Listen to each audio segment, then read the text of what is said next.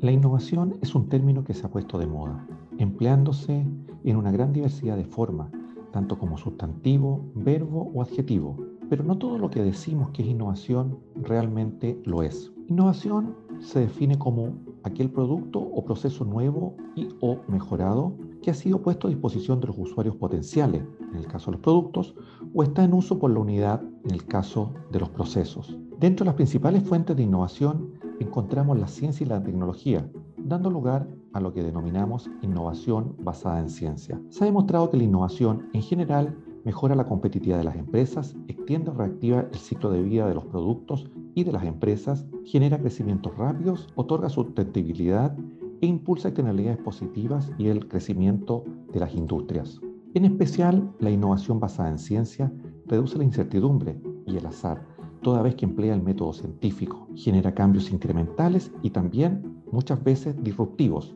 Es difícil de imitar, incrementa la diferenciación, lo que ayuda a mejorar la competitividad de las empresas, de las regiones y de los países, y los nuevos conocimientos unidos a la experiencia otorga múltiples claves para el progreso, mientras que la incorporación de las personas, la sociedad y el entorno dentro de los procesos de innovación sistémicos permiten una rápida aceptación y adopción de las innovaciones en la sociedad. Sin embargo, este tipo de innovación basada en ciencia es compleja de concebir, toda vez que se requiere la combinación de diversos elementos de manera simultánea. La ciencia, por cierto, la visión de mercado, la perspectiva de la sociedad, los elementos normativos y el usuario junto con el beneficiario potencial. Entendiendo estos elementos y las necesidades de la Araucanía, CGNA impulsa la innovación a través de un modelo propio que tiene dos pilares fundamentales, la ciencia y la tecnología, poniendo en el centro los desarrollos del territorio, sus habitantes y desafíos, en un proceso cíclico y multidimensional que permite desarrollar soluciones a la medida de las necesidades, pero con una clara perspectiva de mercado,